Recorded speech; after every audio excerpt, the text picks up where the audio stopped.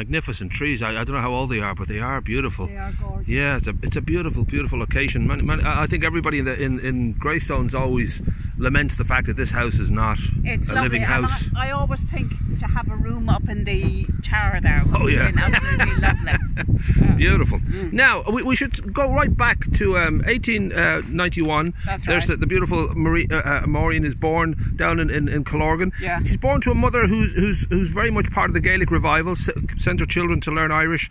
Do you feel there was a certain destiny here that she was always, you know, of a mindset that she cared deeply about Irish nationalism and the idea of Oh, Irish I think identity? so, yeah, because she said that she was influenced by her mother and by a teacher down there. So there was obviously a kind of a. Well, I suppose they were.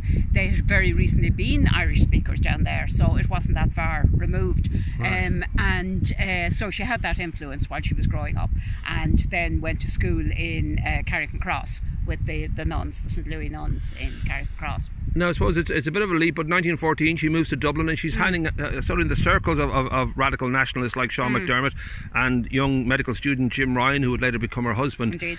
Would you say at this point in her life it, she was quite radicalised? Was it our time in Dublin that would have sort of sparked her real passion to get involved? I think it was. We should say as well, apart from uh, the Irish language, her other um, interest was singing. She was a Ah. very gifted singer.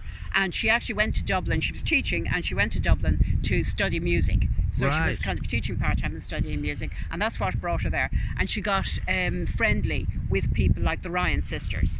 And they, of course, were involved in the Gaelic League, which would have been very much her area of interest, and Sinn Féin.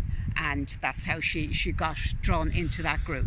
Well, by the time she's gone home in, uh, two, uh, two years later for Easter, her, uh, Sean is asking Mm-hmm. her to take some letters and some ammunition with her on the on the journey. Mm-hmm. So at this point, she would have been pretty much deeply involved in, she must in have the been very and- deeply deeply involved and she must have been very much trusted she, as, as somebody who was kind of level-headed and intelligent and safe to send under under really very dangerous circumstances. Um, as indeed the Ryan sisters who were her friends would have been. They were very much involved as well. So the same sort of same sort of young women Now, can we imagine when she comes back to Dublin and, and Jim's uh, in jail with many of the others? Some, uh, Mm. some of her friends are dead that are part of the cause. Mm. I mean, I don't know if we can get an idea of just what sort of life it must have been then because I'm guessing Mm. as, as, as smart as she was and as intelligent as she was I'm, I'm sure there was a part of her was quite scared for what will, what the future might hold I'm sure because we we we know what happened. Yes, but yes. she didn't. But we should say as well that she had actually had a difficult time in Kerry because Sean McDermott had given her messages and ammunition to bring down. She'd Right. gone down to Kerry. She delivered these. This would have been uh, Casement was due in, so the messages were to do with his arrival.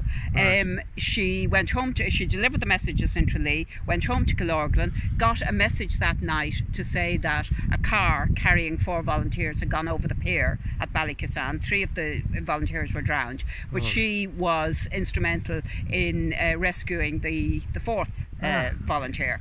Uh, Right. So she did all that. Then she had a long, much interrupted journey back to Dublin because, of course, all the railways were um, messed up with the with the emergency in Dublin. Um, and on the way, she had a very interesting encounter. She was stuck in I can't remember one uh, Mitchellstown or somewhere like that on the platform and they were talking waiting for the next train and they were talking about what had happened in Dublin. And somebody said uh, that the, they'd all been shot that was shooting in O'Connell Street. And uh, somebody else said oh don't worry. Oh she started to cry because she was already very tense. Yeah. and she started to cry. And um, somebody said don't worry it's only the Sinn, Sinn Féiners who are being shot. And she said but they're my friends. They're they're being shot and she said that because and it's interesting from the point of view of what happened later she said that as people then started to argue and some were in favour and some were against. So you could see the sort of shift of opinion already Right. very early on. I know in 1918 Jim and herself get married they moved to Wexford. By the 1920s they moved to this beautiful house here. They have three lovely children. Yeah. I think it's uh, Nuala, Owen and, and Seamus. That's right. And that idea that that domestic kind of life would have hopefully brought a certain amount of peace and all that, but Mm. still, the, the, we'll say the fight went on. I know that, that, that Jim was, was co-founder of, of Fianna Fáil, Mm. and so there would have been. I mean, I'm trying to imagine what life like was was here in Greystones, whether Yeah. they were having a quiet life or whether there was always a certain amount of fight in them? No, well, I think um, after they'd had difficult times, they had a difficult decade, really.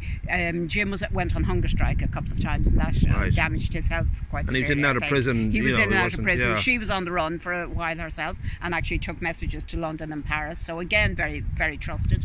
Um, so, and by the time they came here, I think they would have been. He was one of the founders of Fianna Fáil. I suppose by that stage they were begin, beginning to become sort of the elite of the, the new state, if you like. Right. So they did entertain here quite a lot, and they would have had a, a comfortable life. He, of course, was in uh, Fianna Fáil governments right through till the, the 1960s.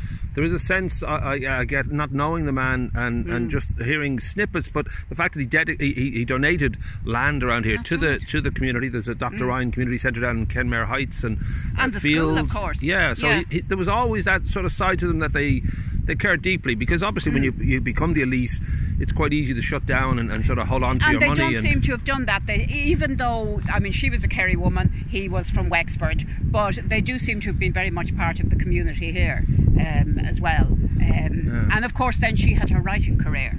Um, Well, we should say now she, she had great success. I know she had a, a, a, was it called Hunger, the, the, the play that was run. Um, my Hunger Strike. There Hunger we go. Strike. And then she also had which her two was based, books. Yeah, the Yeah. Hunger Strike was actually a play, and it was based on her experience when Jim was on hunger strike, Right. and people trying to persuade her to put influence on him to come off hunger strike, and the kind of conflicted feelings that people had at the time. One of the big books, and they're in the National Library, which is a wonderful thing today. But but she had uh, Old John, but also. Old and this one Rattling as well, which is Rathina. Rathina, well, there Old you John, go. first of all, it was a collection of fairy stories with, as you can see, absolutely lovely illustrations. ah wow, beautiful. and there was an Irish version of that, and the illustration, the illustrations here are by um, oh the name escapes me now, Right. but uh, the illustrations Oh, of the Helen Irish Sewell, version, oh that's there, right, lovely. Helen Sewell. Yes. But uh, the illustrations of the Irish version were by Jack B. Yeats, Oh, who of course was another Greystones There resident. you go. We There you inspire the best of go. these people.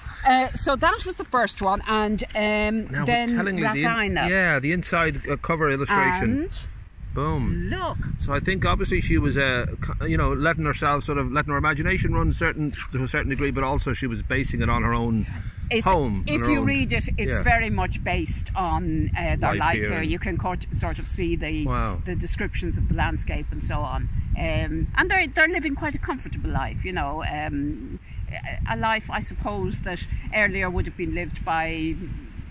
Well, Maybe the- not the gentry, but the, Right. the professional middle class. the average Greystonian life of, of wealth and, and, and, Yes. and, and privilege. And there Why you not? go. Yeah, Now yeah. we should say 1970, Jim passed away. 1975, Mm-hmm. Maureen passed away. They're both buried here in, in Redford Cemetery. That's right. I would like to think that their lives were sweet in, in, in those last decades. That, that that life here is certainly a beautiful place to live. Mm. If she's writing books, it's obviously quite inspiring to live here. I mean, I don't know if we know. I, I mean, I would have known them and I'm possibly walked by them when I Mm. was a young bo- boy. But I mean, I don't know if, if there was a, a strong impression that their life here was generally a good life. Well, now, last um, in 2016, we had an event down at the library to commemorate them. We presented copies of Rathina and Old John to the library, and um, it was lovely because their uh, surviving children, Seamus and Nuala, both came, Oh, and their grandchildren and their great grandchildren, Ah. and they spoke very, very.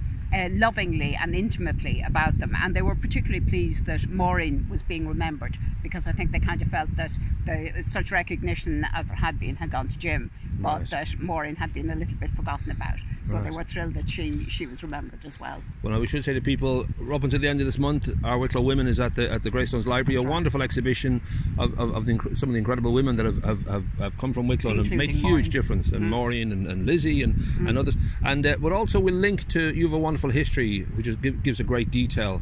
I'll link that as well, just to give mm. people a further reading. That's right And I- on the our Wicklow on the Wicklow Yeah. Heritage site. Yeah. Right, and I mm. hope I hope later on to find out more about Jim and, and, and really get kind of a, a, a, a, bit of a history of the house itself because I think it's such a landmark here. Yeah. and it would be lovely to think that we can pay tribute to it before i- mm. if anything should happen to it because it has that Maguire and Patterson feel about it now that it's been less? I'm afraid it has. Yeah. It has, someone's taken Yeah. the foot off the accelerator and let it roll down the hill yeah, at this and point. it, it could be such a lovely house. And Oh, you man. can imagine it back in those days with uh, children on the lawn and Yeah. uh, parties coming and going. I think so I'll do a GoFundMe page for me to live here and I'll look after it and Why do it. yeah, that'll work.